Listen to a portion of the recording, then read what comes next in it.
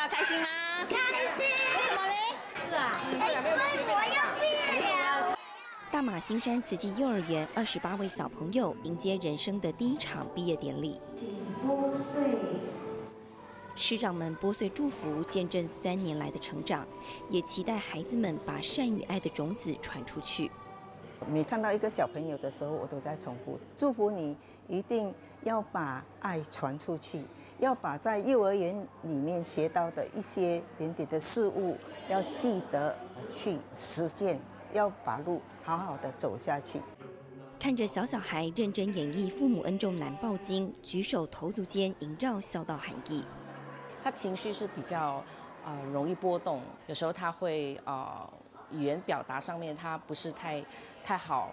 那么他就会用情绪来表达，但是我发现就是最近半年来，他已经开始很努力的认识自己的情绪，然后懂得怎么样克制。看到他的进步是真的很大，真的是让我非常非常感动。他以前哈刚刚上幼儿园的时候，他起身要一个小时的时间，三年里面渐渐的哈把那个起床的时间哈就改成比较短。有时他很早就起来，然后他的动作很呃很迅速。在这三年里面，我相信。实际的教育让他改变很多。